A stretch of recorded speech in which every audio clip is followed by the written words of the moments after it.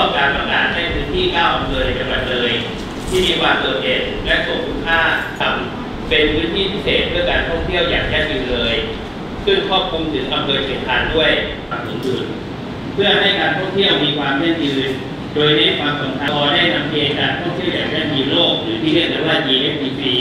ซึ่งเป็นแนวทางการพัฒนาแหล่งท่องเที่ยว ที่มีเป้าหมายเพื่อความยั่งยืนตามหลักการรวมทั้งหนึ่งการบริหารจัดการอย่างยั่งยืน สองเพิ่มประโยชน์และลดผลกระทบเชิงลบทางสังคมและเศรษฐกิจแก่และระดมความคิดเวิร์กช็อปในหัวข้อสิ่งดีๆที่อยากทำให้เชียงคานพร้อมกับโจทย์แลกเปลี่ยนหน่วยงานท้องถิ่นกิจกรรมในวันนี้ถือเป็นกิจกรรมต่อเนื่องที่ถือว่าเป็นหัวใจสำคัญของการขับเคลื่อนเมืองโดยมีวัตถุประสงค์ที่สำคัญเพื่อสร้างการมีส่วนร่วมปวทท่านหัวหน้าส่วนราชการกับผมเป็นหัวหน้าส่วนราชการจังหวัดหลายท่านก็ได้มาร่วมในวันนี้นะครับเอ่อ ท่านผู้ติดภารกิจด่วนนะครับมาเป็นประธานในกิจกรรมแปลงมุมอ่านตรงนี้ไม่ค่อยได้ยินได้ยินครับผมก็รู้สึกดีใจนะครับ แล้วก็มีความพูดถึงเอ่อโดยเชียงคานเนี่ยผมก็ต้องเรียนว่า ถ้าพูดถึงส่วนตัวนะแต่เคยได้ยินชื่อของเชียงคานนะครับ เรื่องถนนคนเดิน เรื่องวิถีชีวิตชุมชน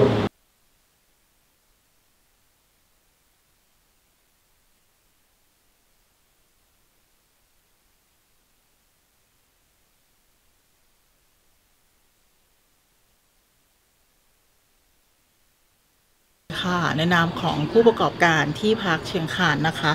ตอนนี้โดยภาพรวมแล้ว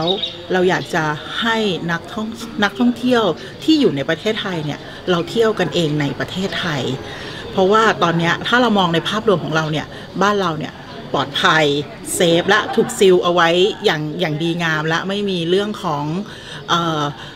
โรคระบาดโควิด ในตอนนี้มาเป็นระยะเวลาเรียกว่าเดือนกว่าละหลายวันแล้ว เพราะฉะนั้นตอนนี้เราอะไทยเที่ยวไทยกันก่อน อยากจะเชิญชวนให้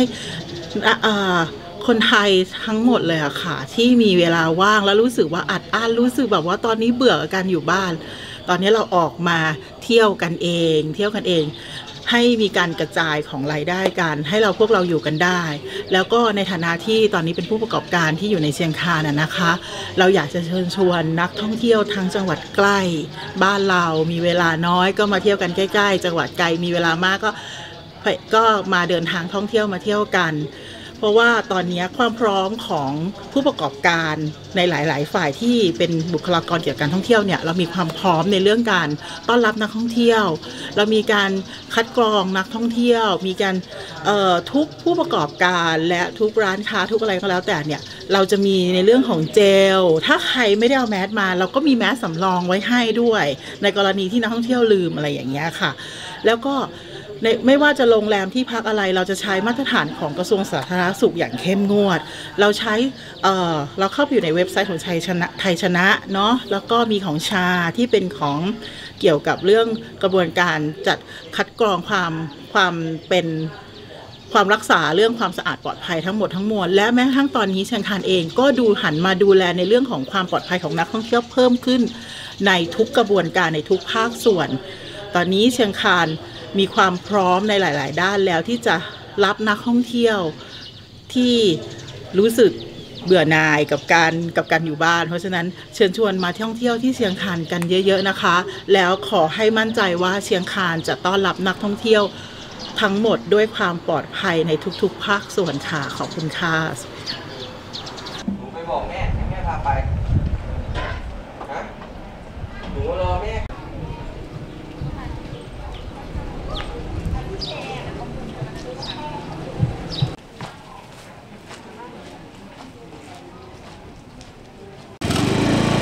อาการยังไม่ได้ ออกมาไม่ได้แล้ว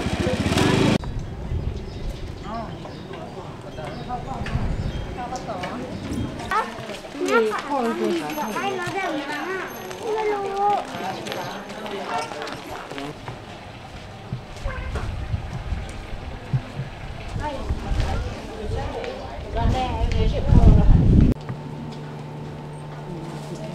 แต่บรรยากาศดีมาก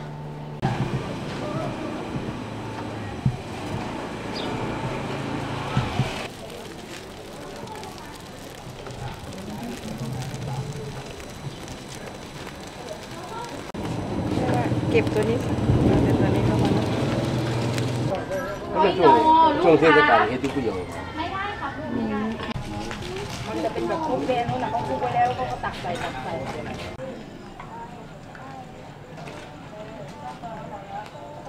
ประเทศไทยละ